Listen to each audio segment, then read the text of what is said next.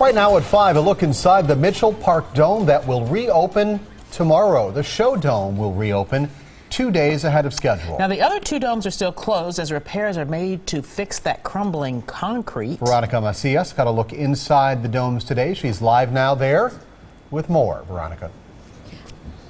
I did get a look inside, and I can tell you, you can hardly notice that steel mesh inside the show dome that's there to protect from any crumbling pieces of concrete.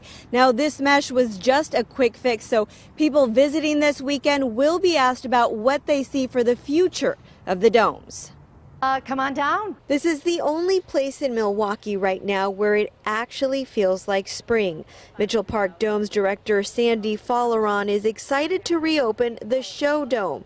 Crews have installed 98 rolls of this imported stainless steel mesh that you hardly even notice to keep any crumbling concrete from falling. This netting is a dual purpose.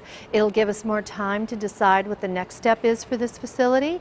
And in case there are some concrete chips or spalling that might happen, it captures it. Back in March, the county approved $500,000 to repair the show dome, and they're opening two days ahead of schedule. I remember as a child going there, and particularly during Easter, I went there with my grandparents. It was an annual thing that we did. I haven't gone to the domes for well over 10 years, but it's, uh, it's an architectural icon. It's likely many will drop by this weekend just for the nostalgia, yet they will be asked by those on the Dome's task force if those memories of this Milwaukee landmark are enough to spend 60 to 70 million dollars in long-term restoration. What do the next generation of families want to see this facility provide them?